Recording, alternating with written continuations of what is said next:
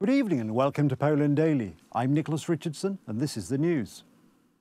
The Ukrainian ambassador was urgently summoned to the Ministry of Foreign Affairs and was informed of the Polish government's protest against the statements made by President Vladimir Zelensky at the United Nations General Assembly that some European Union countries, including Poland, were faking solidarity.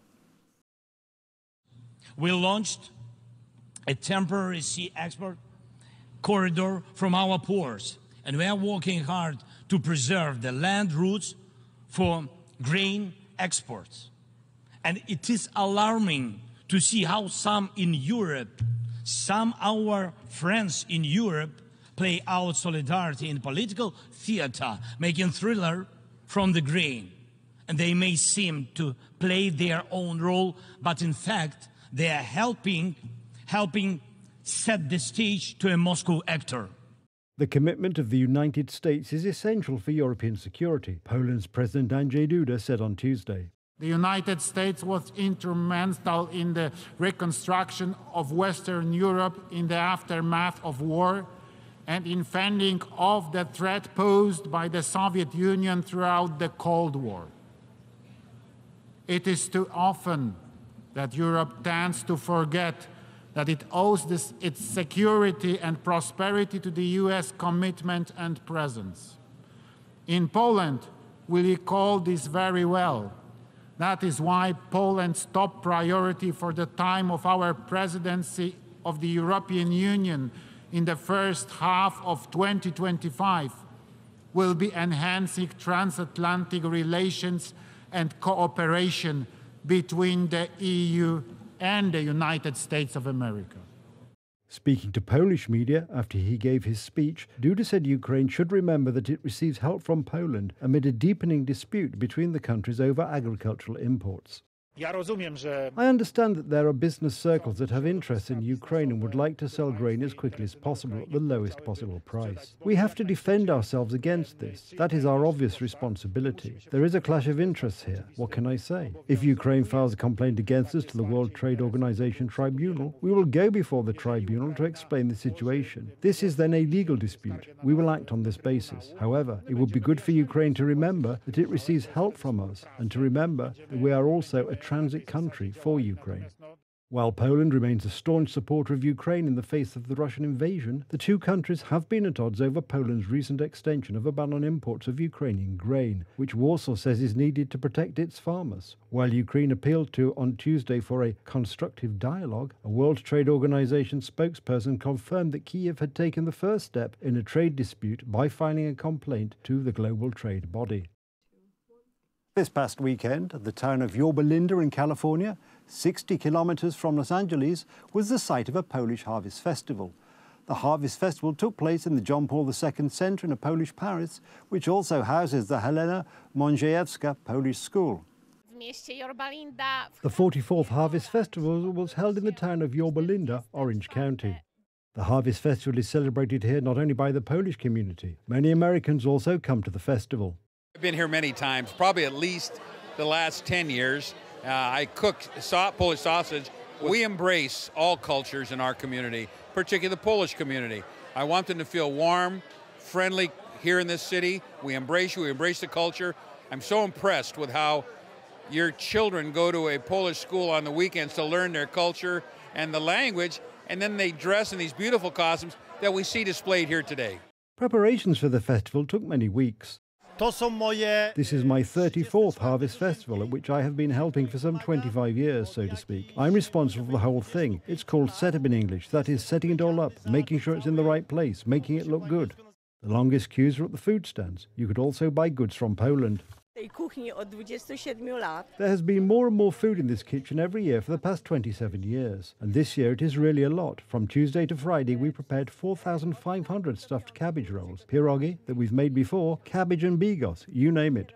People came to listen to music and watch performances by folk groups. Performers included Polania from Yorba Linda, Krakusy from Los Angeles, Polish Smiki and Polonaise from San Diego, as well as a Slovak and Bulgarian folk band. However, this year the star of the evening was the band Lombard.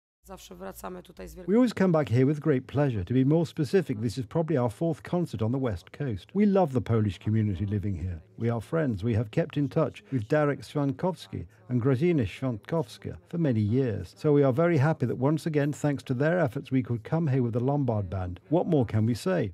Well, every time it's a great experience. Just visiting the Polish community and attending these concerts is a beautiful experience. The audience had a great time with the famous hits from before the emigration. For Telewizja Republika, Małgorzata Schulz. King Charles III and Queen Camilla have begun a three day state visit to France. The Elysee Palace said the British monarch and the President of France, Emmanuel Macron, are expected to touch on topics close to their hearts during their talks, such as the environment, the promotion of reading and youth entrepreneurship.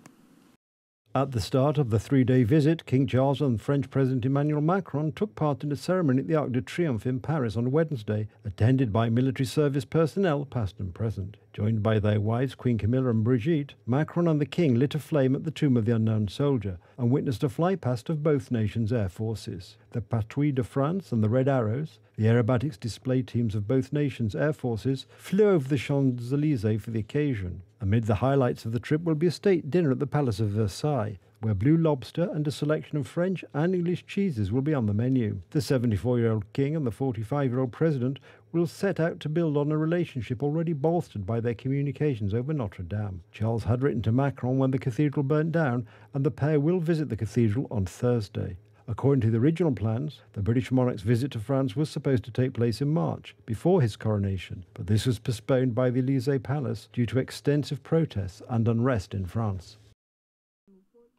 Azerbaijani armed forces have launched an anti terrorist operation in the separatist Nagorno Karabakh region, home to an Armenian population.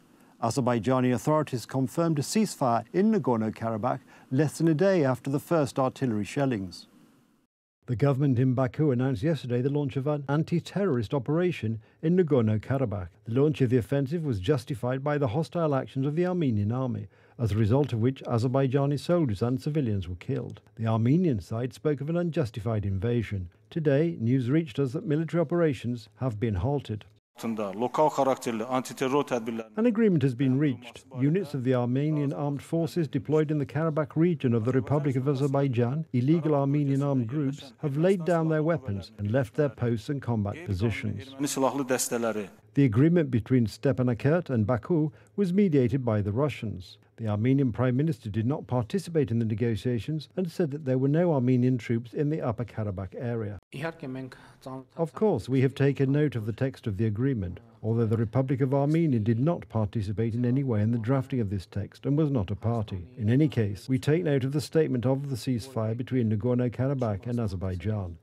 Baku and Yerevan have been in dispute for decades over Nagorno Karabakh, an Armenian populated separatist region that is part of Azerbaijan under international law.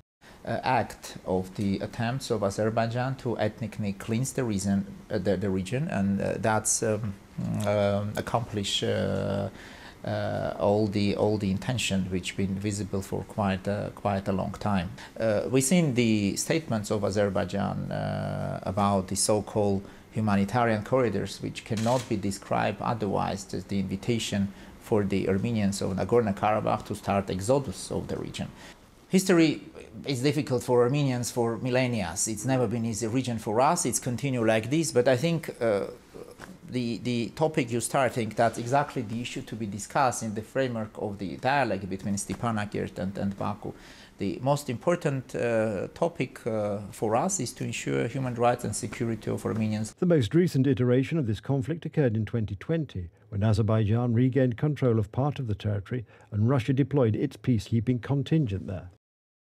That's the news. Thank you for watching. Stay with us for the weather, Poland Daily Business, and more programs. But from me, it's have a good night and a better tomorrow.